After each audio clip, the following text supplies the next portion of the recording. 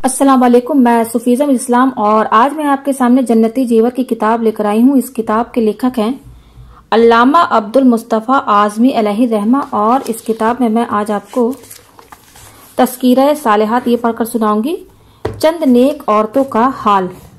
ये वो माए हैं जिनकी गोद में इस्लाम पलता था, इसी गैरत से इंसान नूर के सांचे में ढलता था। इसमें मैं आज आपको एक अंसारिया औरत रज़ी अल्लाह अनहा। मदीना की एक औरत थी जो अंसार के कबीला की थी। उनको यह गलत खबर पहुँची कि रसूलुल्लाह सल्लल्लाहु अलैहि वसल्लम जंगे उहद में शहीद हो गए।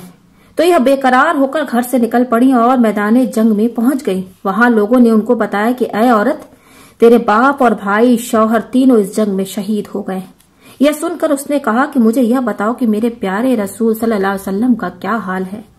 जब लोगों ने बताया कि हुजूर अगरचे जख्मी हो गए हैं, मगर अल्हम्दुलिल्लाह के ज़िंदा व सलामत हैं तो बे इख्तियार उसकी जबान से इस शेर का मजमून निकल पड़ा। तसल्ली है, पनाहे बेकसा, ज़िंदा सलामत है। कोई परवाह नहीं, सारा जहाँ ज़िंदा सलामत है।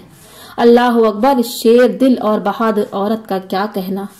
बाप और शौहर और भाई तीनों के कत्ल हो जाने से सदमात के तीन तीन पहाड़ दिल पर गिर पड़े हैं।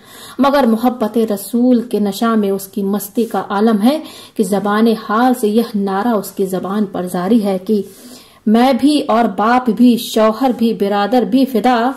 ए शहेदी, तेरे होते हुए क्या चीज़ है हम?